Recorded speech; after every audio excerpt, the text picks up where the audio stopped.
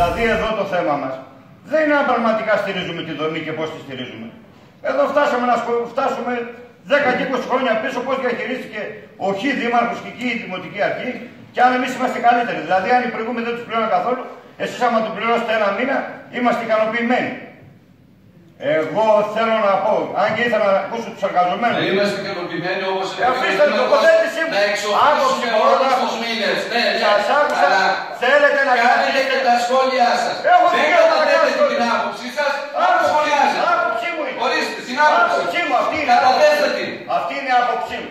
Τώρα, αν δεν σας αρέσει, και βλέπετε στην τεχνία. Όχι, δεν δεχόμαστε όποιο, όποια άποψη καταδίδεται. Νομίζετε ότι πρέπει να με διακόψετε και θεωρείτε ότι είναι πρέπον και σωστό.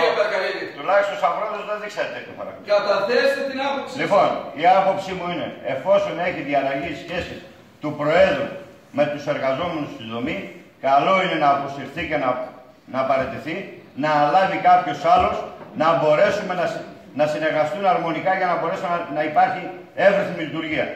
Δεν θα υποδείξω αν ασκεί τα καθήκοντά του σαν δήμαρχος. Ω πρόεδρος όμως θεωρώ ότι πρέπει να αποχωρήσει. Γιατί με δικιά του διαχείριση των πραγμάτων φτάσαμε να απειλούμε τους εργαζόμενους με εξώδικα. Και εδώ θέλουμε αρμονικά τα πράγματα. Όταν τα θέλουμε, πραγματικά πρέπει να δείχνουμε με τις πράξεις μας και με τις συμπεριφορές μας να είναι ανάλογες. Το να γυρνάμε, να, να στέλνουμε εξώδικα, να απειλούμε την κοινωνία, ε, αυτή δεν είναι διαχείριση Δήμου. Ούτε στην επιχείρησή του εργάζονται, ούτε άλλοι προσπαθήσαν και το εντάξαν το πρόγραμμα αυτό και σήμερα. Είναι μια δομή που πραγματικά στηρίζει. Κατανοητός. Όχι, κύριε Πρόεδρε της Κοινοφελούς, δεν θα. Όχι, όχι, δεν θα προχωρήσουμε σε αυτό το διάλογο. Όχι, όχι, δεν έχετε το λόγο. Δεν έχετε το λόγο. Καλό, κύριε Πρόεδρε, παρακαλώ.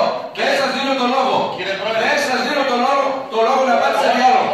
Δεν πάω σε διάλογο. Ζητώ, όχι. Θέλω να ρωτήσω κάτι γιατί αυτά τα σχόλια. Δεν έχετε το λόγο, κύριε Πρόεδρε. Όχι, τα σχόλια πρέπει να. Κύριε Πρόεδρε, σα παρακαλώ. Δεν έχετε το λόγο. Γιατί συνεχίζετε. Τίθεται το θέμα ψήφισης. Και την άλλη φορά, κύριε Πρόεδρε, σας παρακαλώ, θέλω το λόγο. Και την άλλη φορά είναι αυτό θέλω το λόγο, να, θέλω να απαντήσω. Έχει, ο κύριος Καρολικολόπουλος έχει να, να απαντηθεί από τον κύριο Αντιδήμα.